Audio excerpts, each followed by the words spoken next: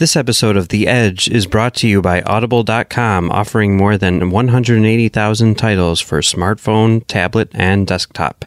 To get a free audiobook of your choice and help Trek.fm at the same time, visit audibletrial.com slash trekfm and also by Enterprise in Space, an international program of the nonprofit National Space Society. Find out how you can help science and education and become a virtual crew member aboard the NSS Enterprise Orbiter by visiting enterpriseinspace.org. And if you want to join the conversation and share your thoughts on this episode, join the Babel Conference, our listeners group on Facebook. Just type B A B E L into the Facebook search field. We look forward to seeing you there. Hey, this is Jeff Russo. I'm the composer from Star Trek Discovery, and you're listening to Trek FM. What have you done out there on the edge of Federation space?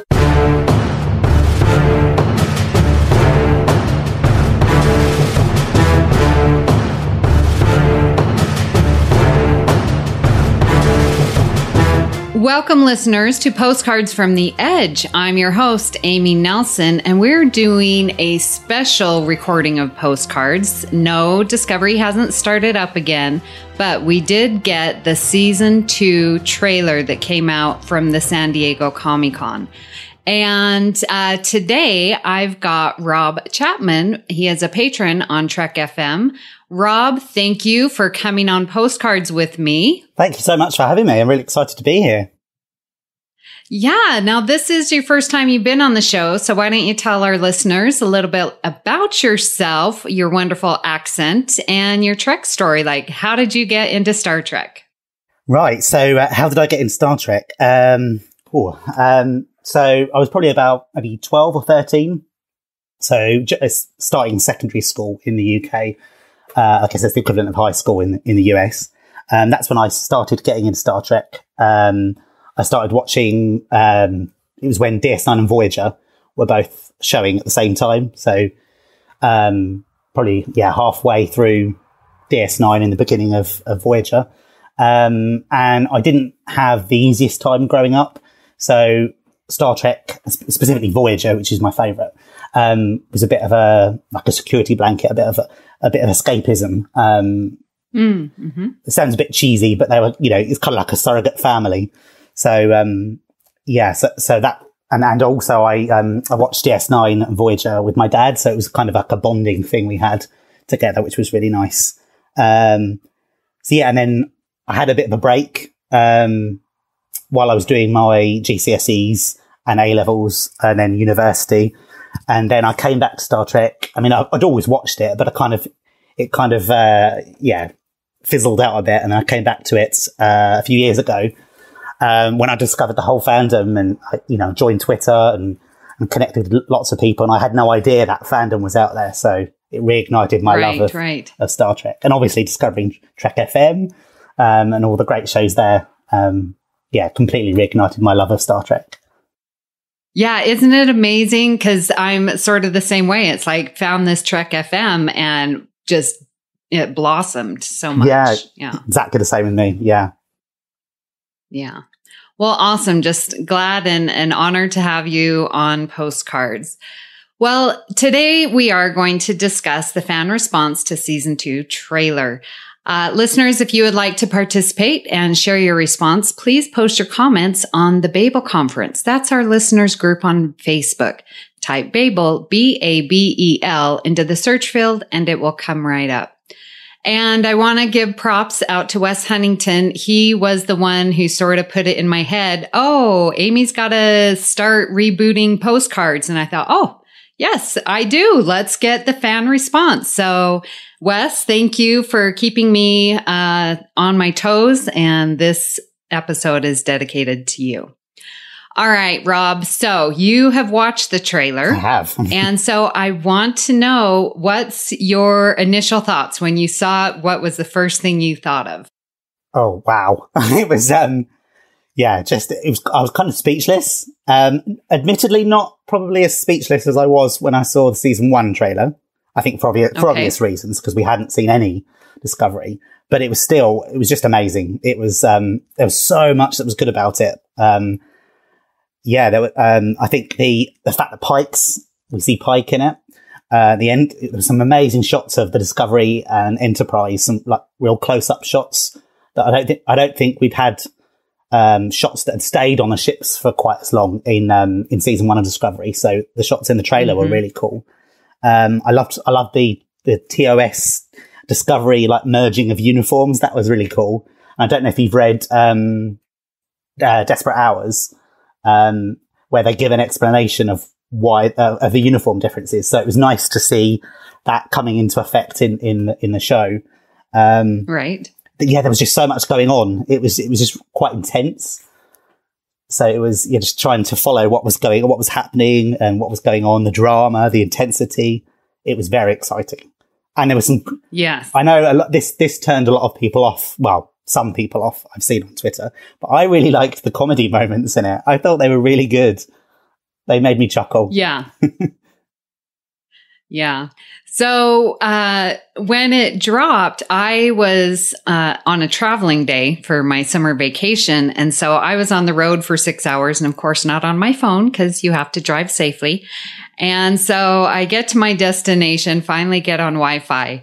And just things blown, blowing up. You know, everyone's commenting. I was thinking of Amy, you know, with, of course, we have this is the power of math people when Tilly said that. And so everyone's like, Oh, Amy, da, da, da, you know, and so I was like, what is going on? And so that was my first introduction. I'm like, well, there's got to be something going on here. And then I see, oh, the trailer dropped. And yes, I absolutely loved, of course, Tilly's comment. This is the power of math, people. And could not be happier uh, to see them. So that tells me that they're going to be bringing in, you know, the science and the math that goes into it. So very excited for that. I loved seeing the uh, characters and their their interaction with each other because now you know we have season one and they they've taken hold in my heart. It's really surprising to see especially as i'm you know recording these deep dives on on the edge main show and to just sort of analyze each of the characters and then to see them in action again just brings the excitement uh, to the forefront. And uh, the sneeze joke at the end, yeah, I was, uh, whatever. We'll see what happens with that. But, you know, it, there was some, uh, really good humor, the connection and the chemistry that each of them have. Uh, I was definitely very, very excited. Love the exploration aspect. And I'm very excited for Pike as well. This is going to be awesome. So, And of and of course we've got um, the uh, number one. Um, Yes, Rebecca Romijn. Yeah, which we didn't well, see. She wasn't real. Yeah, she wasn't in the trailer, but uh, it was announced that she will be joining as number one. So very excited for that because I I love Rebecca Romijn too. She's Yeah. oh, I think it's going to be so great. oh. So, well, we've had another terrific response on the Babel conference. We had 118 comments as of this recording. So let's see what everyone has to say. Um, I need to start with the first tweet that I got from Rob Vaughn. And he says, just three words, bring it on. and it's like, yep, this is how we're going to start the show. Um, so Rob, let's just uh, go back and forth and read what the listeners had to say. right. Okay. So um, I hope I'm pronouncing people's names right. um, uh, Chris uh, Tribuzio, Tribuz, Tribuzio um, said, uh, "What's there to say? But fantastic." From the special effects to the humour to the actors, I think the word anticipation can be a word used a lot by fans. Absolutely. Liam Kerrigan says, I love the trailer. My main issue with season one was how out of place it felt in terms of costumes and sets, considering where it was in the timeline. This trailer showed from the off that they are addressing that. Also, it was good to see some of the lighthearted humor coming back.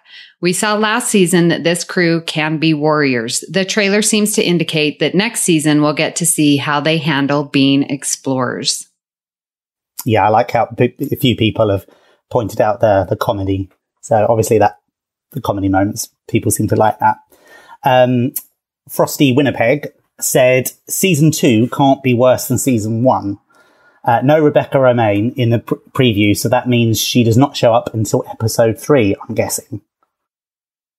Yeah. So does the trailer only show the first two episodes? I, I didn't understand that. I mean, we know they haven't finished filming quite yet, but Yeah. does that mean that the trailer's only made up of the first two scenes from the first two episodes? Well, I suppose when we saw the season one trailer, um, I remember um, Rainn Wilson's character, the, na- the name of the Harry Mudd. he, he was in it, and he wasn't in till the third, fourth, maybe even later episode. Um, yeah. yeah, maybe I'll have to go back and watch the season one trailer and see if there were any later episodes in season one that were included in the trailer. Mhm. But yeah, it's it, Yeah. I guess it is a, a little bit disappointing that, that um, certain characters weren't weren't featured in the in the trailer, L- like L'Rell. Yeah. Um, Exactly. Which we better be seeing more of. yeah, yeah, Well, Greg Malumbi says, I liked how fun this trailer looked. I welcome the lighter tone to the series. And I agree. It was definitely, uh, season one was heavier Yeah. and, you know, and there were a lot of comments about that. So this one is looking to be lighter. yeah. I agree. Um, Conrad Hutchins said, "Absolutely loved it. Pine looks to be a fantastic addition, and I think the re- reimagined TOS uniforms look great." And he's put in brackets, "I want one." I do too. Um, also, whilst there's going to be a main uh, mystery running through this season, it looks like they're going to be exploring having fun along the way. I understand that some people can't see beyond the timeline and canon, but I'm just so excited to have new Trek that I'm totally along for the ride. Hit it. Exactly. Yeah, there's always going to be those that are talking about the canon Yeah. and the re-imaging and stuff like that. But yep, I I agree. Hit it. Mark Boder says, like others, I enjoyed the lighter tone. I also like the attention paid to the rest of the bridge crew. I hope they get more to do this season. And I think we will be seeing uh, an expansion of the characters of the bridge crew. Yeah, I, I- really hope we do because the bridge crew, we didn't get to see a huge amount of them, but characters like Detmer and I can't remember the other, um, the, is it the ops officer that sits next to her? There was a m- moment in the trailer where, um, I think Pike and Burnham were in these weird little spacecraft that were out of control. And, and, and Burnham says, like, Discovery's got you, right? Right, ladies? And they're like, oh, yeah, yeah, Yeah. totally, absolutely. Yeah, right. and they share this look. Like, yeah, oh. another comedic, lighter moment. Yeah, and the look of panic on their faces. I think even even Mhm. Saru says, uh, "Oh dear." yes. so that was cool. Um, so Michael Wong says, "I'm thrilled that the central theme of season two seems to be solving a scientific mystery and searching for Spock along the way, rather than war. This brings us back to Star Trek's exploratory roots that inspired me so much as a kid." I'm already on the edge of my seat, wondering about what kinds of profound discoveries the crew is going to make. Let's see what's out there. Yes. Yeah, getting away from war and going towards exploration definitely does get us back to Star Trek. So Absolutely. I agree. Eric Schmitz says, pure fun. Love the look of the Enterprise and those classic uniforms. Pike seems to be the perfect leader for Discovery to become family. Also, the spirit of exploration that we kind of missed in the first season. Overall, just an awesome trailer. P.S. The music of Netflix trailer is way better than the one from CBS. So, did you see the Netflix trailer or the CBS or both? And do you know what he's talking about? Because I do not. I I don't think you know that hadn't even occurred to me. I, I've watched the Netflix trailer because I think a lot of the CBS, um, not the CBS, um, Star Trek CBS Twitter account, a lot of the videos that they put out don't work in the UK, and I assume probably a lot of other countries as well. So there's Uh-huh. a Star Trek Netflix um, Twitter account, and those videos do work. But I Oh, hadn't even okay. looked to see. I just assumed that they, they were the same. So Yeah. so I know. I didn't even think No. to look or s- see if there was a difference. So good job, Eric, for pointing that yeah, out. Yeah, yeah. I mean, I I don't know about the CBS one, but the one that I watched, the Netflix one, the music in that was really, really good. Um, yeah, Yeah. Ben Nicholson says the trailer seems to hit the mark with the spread of new Star Trek and pre Kelvin Star Trek. I'm glad they are giving barely used bridge crew more time and hope that continues throughout season two. Yeah, we definitely see them with lines to say instead Mm, of just bodies on the bridge. Yeah. Yeah. Uh, Wes Huntington says, uh, I loved the trailer. I smiled when I heard Mary Wiseman said the uh, the power of math, people. it's going to be a fun ride. Also, can't wait to see Rebecca Romijn's number one. They nailed the casting with that choice. Will we get uh, Yeoman Colt? I have no idea who'd, who'd play her, but she should appear as well. In the words of the Lenny Kravitz song that's in the trailer, I want to get away and fly away. Oh, I thought you were going to sing that part, Rob. Nobody wants to hear my singing voice. I want to get away. yeah, we'll stop right there. so, is that the music that was featured in the CBS trailer? yeah. Oh, see, we didn't have that at all in the Netflix trailer. Oh, no, we didn't have that. well, then your music must have been good because you enjoyed it. Ah, now I now I want to watch that one. Yeah. Maribel Myers says, I haven't watched the trailer repeatedly, but it whet my appetite for more, and I'm debating when to do my rewatch of season one. I like Anson Mount as Pike. He seems to fit in well. I'm excited to hear of Rebecca Romijn, but not yet sure she's the right choice. I look forward to being proven wrong. Well, I think you will be proven wrong, but that's just my opinion. I really like Rebecca Romijn, so. yeah, I agree. Um, without the Anson Mount um, comment, he does seem to fit really well. He just, I got, Yeah. I, the moment I saw him, I can't imagine anyone else doing it now. Oh my gosh. And seeing the pictures and the side by sides, I'm like, this is perfect. Yeah. He's, yeah, spot on for sure. So, Rob, want to ask you, have you done a rewatch of season one already or? Not the whole way through. I've kind of dipped in and out, um, but I think now I'll, I'll have to Yes. a full, Yep. uh, you know, chronological order rewatch. Yep. Do a little binge watching Yeah, there. definitely. uh, Patrick Carlin uh, says, I'm really looking forward to Anson Mount as Pike. The immediate vibe I got from him is a combination of the Jeffrey Hunter Pike and the Bruce Greenwood Pike, and he blends them perfectly, in my opinion. Yeah, I agree. Th- those, yeah, Jeffrey Hunter and Bruce Green- Greenwood so embody, in my opinion, Pike. Mm. So it's, I think he's going to do great. Yeah, I agree.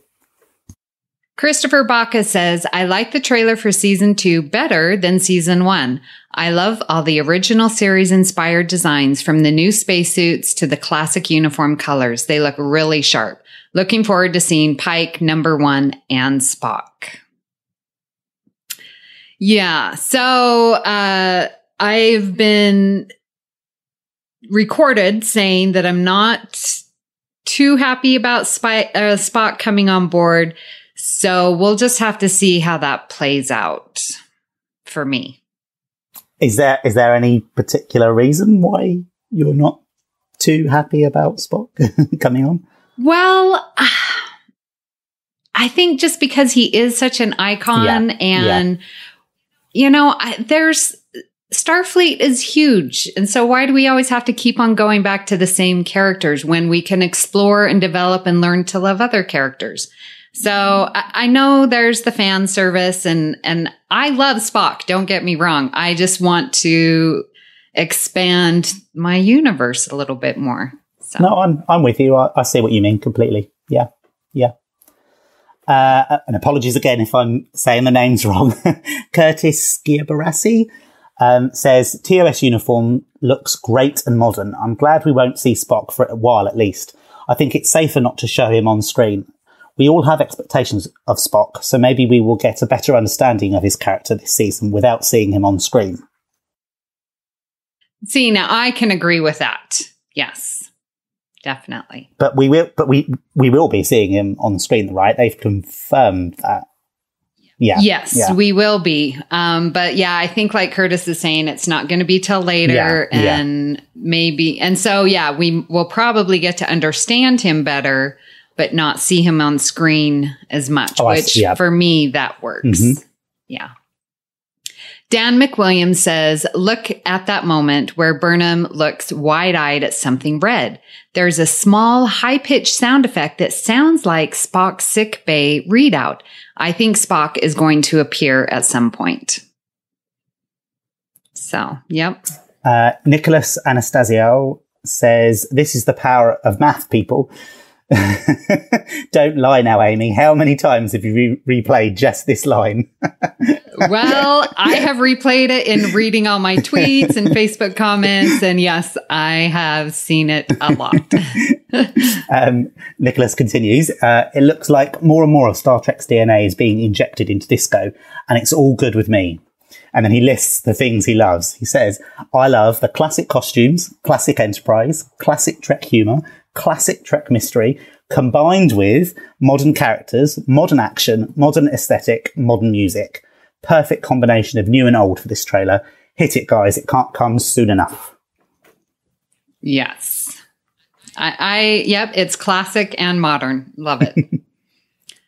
Nicholas Paul Collinson says, I'm so excited. I really love how it looks like we will see the crew functioning as more of a cohesive unit. Tilly is a beautiful ray of sunshine as ever, and I'm sure interested to see her growth as a character this season. The visuals look stunning and the inclusion of a bit more humor and just the crew generally having fun together looks like it's going to be a great ride. Also, I know she wasn't in the trailer, trailer, but I'm excited to see L'Rell as the new Klingon Chancellor trying to fight the Klingon patriarchy. Patriarchy. As soon as I told my partner about this, her response was, yeah, hex the patriarchy, L'Rell. So yes, I definitely, I love L'Rell's character. I love Mary Chieffo, as was mentioned when we did that deep dive on the edge. I really want to see how the Klingons are going to be intertwined with this new space mystery. Yeah, I'm really looking forward to um, seeing more of L'Rell. She was one of my one of my favorite characters in season one, so I'm looking forward to seeing what role she has in season two. Um, yeah, yeah, her storyline, how that continues. It'll be yeah, be mm-hmm. very interesting. Uh, Dennis Tremethick says, "I can't wait until the new season starts. What a fantastic trailer! I love the new Pike. I love the new take on the uniforms. I love the new plot. This is a dream come true. Could only be better with a cameo by Marina Sirtis. And of course, Dennis, we know he was just kissing up and wanted his post read because he knows I love Marina. And of course, it would be great to have her show up. Not too sure it will happen, but Yep, it got your post read on postcards. So well done, Dennis. I think the listeners are knowing how to uh, to get me. well, Eric Brady says uh, the original series is my favorite Trek, but Discovery is my second favorite. At this rate, it might pass TOS as my favorite. So excited for season two. So, Rob. Yes. Uh, we you said Voyager's your favorite. So where is Discovery and could do you think that Discovery could replace Voyager as your favorite? I don't want to be a downer, but I don't think it I don't think it could. But just because Voyager holds such a special place in my heart, I don't I right. don't think I don't no matter how good Discovery what would be or is, it, it could never really replace it. but do you know what? I think it is it is high up. Um it's not quite DS9 because DS9 would be my second favorite, but I think it's it's mm. probably third. Um, and probably yeah, probably getting possibly even higher. So I can. It's nice to see that people are saying that it's it's either their favorite, second favorite, or it's you know it's it, mm-hmm. so it's it's clearly doing very well. Yeah, uh, I'm with you. Uh, TNG will always be my favorite. I just, I am sure of it. Um, just, it has a special place in my heart. Um, but yeah, Discovery is definitely getting up there, especially as I, you know, do these podcasts and talk and rewatch it. Um, there's so much to love about it. Um, and I'm doing my Deep Space Nine and I'm enjoying it very much. So I can't, you know, compare it completely. Um, but with what I've watched, um, I'm, I'm really enjoying Deep Space Nine, but I think Discovery might be a little bit higher, but I, I'm not all that big into ranking. I just know that TNG is my favorite. So where whereabouts are you in DS9, roughly? Season four. Oh, okay, okay. Yep. Season four, about a third of the way. I just finished uh, episode six, I think. So it'd be, it'd be interesting to see where Discovery is placed once you finish DS9, if it's higher or just or below. Yeah. Yeah. Yeah. Um, so Jamar Williams says it would be nice to buy season one on iTunes. I eagerly anticipate season two, at which time I will renew my CBS subscription, this time commercial free. I will look to the Babel conference to inform me of the season two premiere. Well, of course, we will keep all of you updated uh, as soon as we know anything about Discovery season two, of course.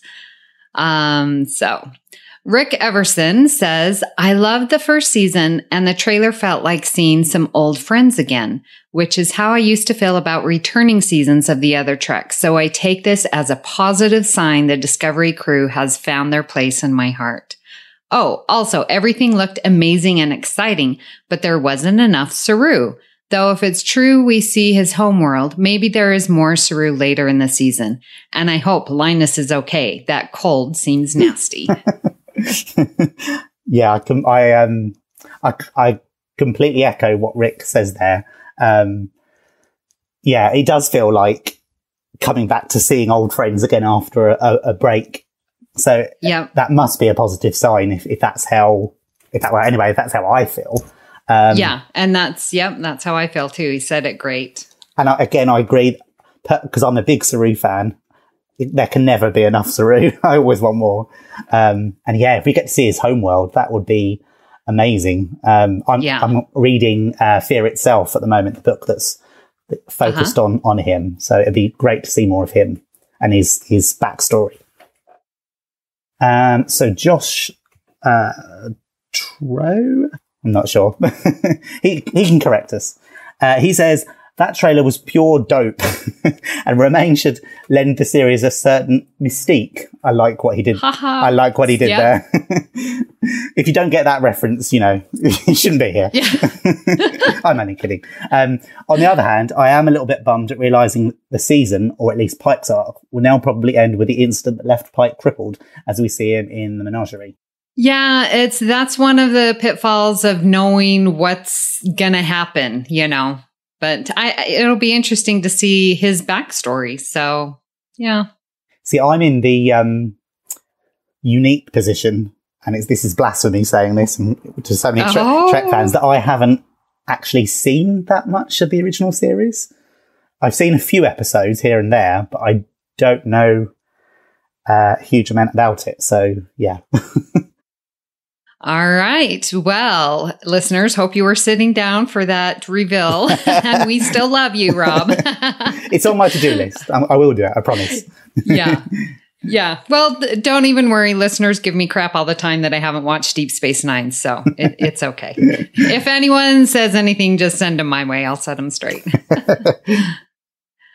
Andrea Boot says, I was excited when the trailer first aired. This certainly seems like a different tone to the first series of Discovery, more lighthearted.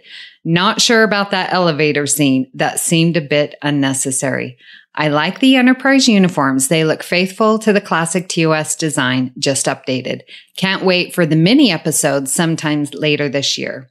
So yeah, that was a also an announcement at SDCC that we're going to be having these 10 to 15 minute, you know, mini episodes and one of them will be Saru. So that'll be good. We have a Yay. Harry Mudd one. Yeah. so I'm looking forward to those as well. And when those drop, we will of course do a postcards episode about those as well. I wonder if the um, those short treks will be on the main characters or whether they'll have some of the bridge crew as well. That might. Yeah. Well, that they have a Harry Mudd and he's not a main character. Yeah, so yeah. there's hope there. Yeah. Jared Prophet says, uh, I loved every second of the trailer and I am super looking forward to season two. The photo tease of Linus before the trailer and then seeing him in the trailer was cool, even if it was just a sneeze gag. The fun and adventure level seems to be high. Last season was great, but this season being less dark is super welcome. Yeah. I've seen that a lot. I'm sorry, I was, I was going to say I do, I do like the how they release little things before, like like um, Jared was saying the the photo teaser Linus, get, you know, get, builds the anticipation. Yeah, yeah. Well, we did have some uh, response on Twitter, and we have Taborg, and he says, "Great trailer! Can't wait to see the crew, and look forward to exploring the Spock Burnham relationship." I love the Constitution uniforms. Excited by the idea of a genuine space mystery to explore. Linus the Saurian looks awesome, but the sneeze joke left me cold. Ha ha ha. um, Bruce Gibson said, What really stands up to me is the adventure exploring the mysterious. That's exciting. Also, I enjoy seeing a lot of Captain Pike and the humour among the crew. I'm suspicious that the Linus sneezing scene was filmed only for the trailer. Hmm, possibly. Hmm, yeah. And there was um, some debate going back and forth about it being like the Orville and, you know, how that started out, you know, very corny humor, Hmm, you know, yeah. that kind of humor. And I thought, well, you know, we'll, we'll see. It's not going to be like the Orville, in my opinion, at all. No, so, no. yeah. Well, Space Water Bear says, looks like a fun ride. Great action shots. More focus on the central mystery and the bridge crew as characters. How long does the absent Spock weigh on the show? Can T- Tig Notaro be in every scene, please? More Tilly praising science. Yay. So, Yeah, I did. I did like. I, I don't know who that person is. That was the. Was it the engineer that was saying like, yeah. "Oh, thank God! I thought we were all going to die" or something. I, I that Oh, was really yes, good. yes, that's it. yep, yeah, that's it. Absolutely.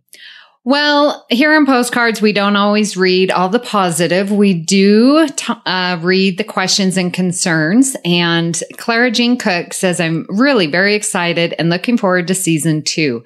My only concern is that the trailer seemed very action heavy. Although I do enjoy action in Star Trek, I would also like a few more episodes which are a little slower in pace, but that's a small quibble.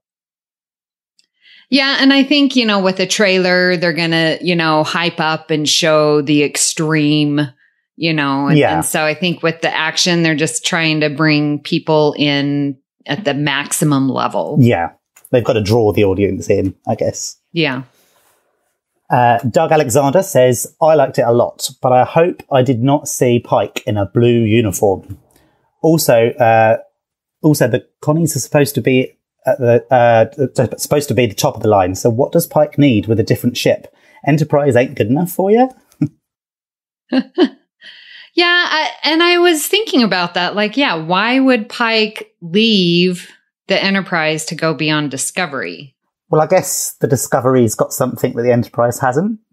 And if those, Yeah. if those reds, what I can't even, um, things that they were seeing, um, that were like 30,000 light years spread across the universe, I guess they might need Discovery to get to those places, maybe? Yeah. Possibly. And then, and I was thinking, well, maybe they just need the experience of Pike, but don't need the Enterprise. That's true. Then I'm like, well, uh, I don't know. So Yeah. good question. Mm. I, I liked it, Doug. Mm. And Neil Stringer says Pike could be good, but still not a fan of all the visual changes. So still, uh, there's still some comments about the uniforms and just the visual change of the bridge and Hmm. everything like that. So concerns. I mean, it's, it's fair enough. It's not going to appeal to everyone. Not everyone can like everything all the time. So it's, it's fair enough. But uh, hopefully Yes. there's something in there that, no matter how small, that, that, um, that Neil and others can like. Uh, Lee Sargent says, uh, LOL, I'm coming at it from a much more jaded point of view. I thought season one was a mess that wasted some really good actors and characters on a plot that always seemed forced together rather than naturally flowing. Whilst I thought the characters were very good, I just don't feel they were given much to work with, and that the writing felt in disarray. Compared to Westworld, a show that it feels like it wants to emulate in quality, if not tone, story arc wise, they are not even in the same ballpark. So I think my own impression of Discovery Season 1 is it had a lot of ambition that it couldn't fulfill. So I'm a little wary and cynical of this trailer and what it promises. I don't like redesign stuff for the sake of redesign, but that's a personal take. I'm a big fan of the cage aesthetic, so to completely disregard it is a shame. I also think it's a shame that these characters aren't getting to forge out on their own, that they feel the need to use the promise of Spock and Pike, etc., when we have perfectly good characters already. And I guess the idea of someone else playing Spock as a cameo or a bit part doesn't sit well with me. Nimoy wouldn't do it for generations, so to have someone completely new stepping into such an iconic role feels wrong to me. Admittedly, if they got Quinto to do it, as uh, to do it, an actor who had the mantle passed to him personally by Nimoy himself, I'd probably be super impressed and say well played. But I'm not even sure if he, if he is even allowed to appear contractually. I think also the comments regarding them trying to be more like the Orville with that elevate, elevator scene are probably a little deserved. So all in all, I'm really happy to be swept up in the next season of Discovery. I really just hope that they can get their act together on the writing front.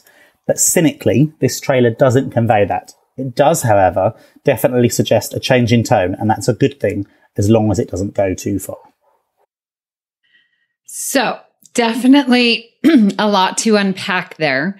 Um, I just wanted to comment a couple of things. Um, I'm watching Westworld and I am so glad Discovery is not like Westworld. Uh, have are you watching Westworld at all? Uh, I'm not, but I, I, saw the first few episodes, and um, I yeah, I'm not wasn't a huge fan. I wasn't I wasn't sucked in uh, immediately, thinking, "Wow, this is great." But maybe I just didn't yeah. give it enough of a chance. Well, it's good. Mm. I'm just completely lost all the time in Westworld. So I don't like that aspect of it. And I'm not lost in Discovery. So to me, I like the writing in Discovery a little bit better. Um, so I'm, but I can see because Westworld definitely has you guessing and you you never know well i never know what's gonna happen so I, I, can see that comparison i don't know that discovery is trying to emulate it um, but personally i'm glad that they aren't um, and again that redesign re-imaging thing I'm fine with it, but I've always been fine. I haven't been a stickler for, oh, it doesn't look like this. I, but I guess because I'm a next gen and they changed everything, right? So yeah. and I, I, like I like I like Lee's comments about. I think we said it earlier about um, that it's a shame the characters aren't getting to forge out on their own, and that they they feel the need to use the promise of Spock and Pike when we've got yeah. other characters we can um, explore. So I get that. Yeah. I do get that. Yeah. I definitely get that as well. And again, with the comment of the Orville, um, yeah, I think it's deserved, but I don't know how much it's going to be that type of humor. Um, and, but hopefully you will get swept up in discovery and that you can find some things to like. And I do think that the tone, um, is, is a change. And so maybe that will, you know, like you said, hit more list or more uh, fans mm. in a positive way. Yeah. Yeah. All right. Well, Rob, how do you think the fans responded to the season two trailer? Uh, I think if we're going by the comments that we've seen uh, here, I'd say it's more of a positive, excited uh, anticipation um, feel. And there was only a few um, little things that people were perhaps a bit um, nervous of. So maybe mm-hmm. if you were to mm-hmm. split it percentage wise, maybe, I don't know, 75, 25, something, something like that, positive to negative. Mm-hmm. Um, it seemed, it seemed like people were much more positive, uh, about the trailer, um, than they were negative, I would say. Yeah. Well, and plus I wasn't able for time constraints to read every single comment, but as I was going through them, I'm going to have to say 90 10 to positive to questions and, and nervousness. Um, cause I did put every question slash nervous response, but I didn't put every good mm. one, you know? So, Oh, okay. Yeah. So I, I think definitely I'm feeling that everyone's noticing that the tone is changing. They are recognizing these great characters and, and Pike and number one coming back. Um, I, and I echo, I'm very excited. I think people, um, have found these characters and that they found a place in their Star Trek fandom. And that to me is very exciting. And, and I've said before on postcards and on the edge, like I've come across people that have never watched any Star Trek before except Discovery. And I love finding these new fans and hopefully they will, you know, explore the past catalog of Star Trek. So it's very exciting to me. Yeah, definitely. Definitely. We would love to hear your thoughts on Discovery, and the best place to do that is the Babel Conference, and that's our listeners group on Facebook. You can also find us on Twitter at Trek FM or send us an email using the contact form on our website at trek.fm slash contact. Choose to send to a show and choose the edge. So Rob, where can people find you on the interwebs? So people can find me on Twitter. I'm at Trekkie Rob. Um, and I also run a Trek Book Club on Twitter, which is at Trek Book Club. And we, um, we pick a book, a Star Trek book each month, um, and read it and then come together on Twitter to, to discuss it. So you can find me in both those places. And you're in the Babel conference. And I'm in the Babel conference. Yeah. And I, I, need I need to be in the Babel conference more. that's that's my that that's my to do for for this the rest of this year. Awesome. To be more active. well, you can find me here on the network. I co-host The Edge with Patrick Devlin, and I also co-host Earl Grey, which is about next generation with Richard Marquez and Justin Ozer. You can find me on Twitter at Miss Amy Nelson, but my favorite place is the Babel Conference. We would like to thank our associate producers. They are Norman Lao, Tony Robinson, Thomas Puleo, Lisa Slack, Shoaib Mirza, Richard Rutledge, James Muldrow, and Cornelia Reutner. Thank you so much for supporting The Edge and Trek FM. If you'd like to help us keep all of our shows going and even become an associate producer, visit patreon.com slash trekfm for all the details. Well, Rob, thank you again so much for coming on postcards and making your debut uh, podcasting with us. No, thank you so much for having me. I had lots of fun. It's really good. Yes. And thanks for working with me last minute. I just decided, you know, on my vacation, I'm like, when I get home, I've got to do a postcards. And, and you were so accommodating to work with me on the time. And, and we've got this big time difference. So thank you so much. No, no problem.